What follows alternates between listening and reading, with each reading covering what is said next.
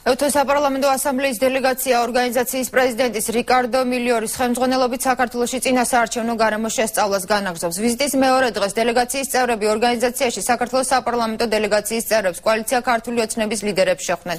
შეხვედრა გამართა ასევე რესპუბლიკური პარტიის ოფისშიც. ცნობილი ხდება იმის შესახებ, რომ ევთო საპარლამენტო ასამბლეის დელეგაცია საარჩევნო გარემოს შესწავლისთანავე არჩევნებში მონაწილე სუბიექტებისთვის შუალედური დასკვნის რეკომენდაციის წარმოქმნას გეგმავს. თბილისში მყოფი ეუთოს საპარლამენტო ასამბლეის დელეგაცია დღის 12 საათზე პარლამენტის ეუთოს საპარლამენტო დელეგაცია შეხვდა. შეხვედრის დასრულების შემდეგ პარლამენტის ვიცე-სპიკერმა გიგი წერეთელმა ჟურნალისტებს განუცხადა, რომ საუბარი 1 ოქტომბერს დანიშნულ არჩევნებთან დაკავშირებულ საკითხებს შეეხო. საუბარი შეეხებოდა საარჩევნო პროცესს, საარჩევნო კამპანიას. ეს მისია არის ხანმოკლე, რამდენიმე დღის განმავლობაში ისინი დააკვირდებიან თუ როგორ მიმდინარეობს საარჩევნო კამპანია. ეს ყველაფერი არის მოსამზადებელი ეტაპი იმისათვის, რომ უკვე არჩევნებთან ახლოს ჩამოვიდეს საკმაოდ დიდი მისია. ეუთოსი, თქვენიცით რომ ეუთო არის პრაქტიკულად თავარი დამკვირვებელი ერთ-ერთი ორგანიზაცია არჩევნებზე. საპარლამენტო უმცირესობის წევრი გურამ ჩახვაძე ამბობს, რომ დელეგაცია საარჩევნო გარემოს შესწავლისთანავე არჩევნებში მონაწილე სუბიექტებისთვის შუალედური დასკვნის რეკომენდაციის წარმოქმნას გეგმავს.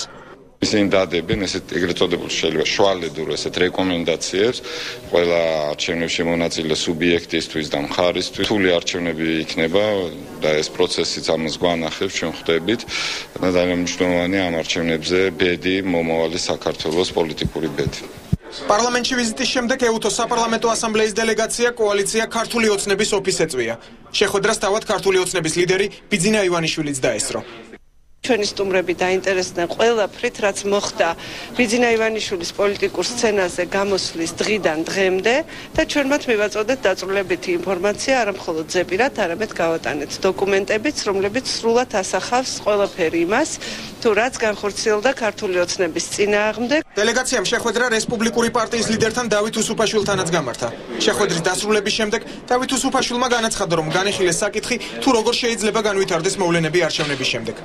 მათი კითხვები ეხებოდა ძირითადად საარჩევნო გარემოს და ასევე პოლიტიკურ ვითარებას, რაც დღეს ქვეყანაშია და რა ვერსიებია, რა სცენარებია ამ საპარლამენტო არჩევნების შემდგომ პოლიტიკური ცხოვრების განვითარების. კვალეუთო საპარლამენტო დელეგაციის წევრები საქართველოს პრეზიდენტს, პარლამენტის თავმჯდომარეს, ქრისტიან-დემოკრატიული პარტიის წევრებს და არასამთავრობო ორგანიზაციების წარმომადგენლებს შეხვდებიან.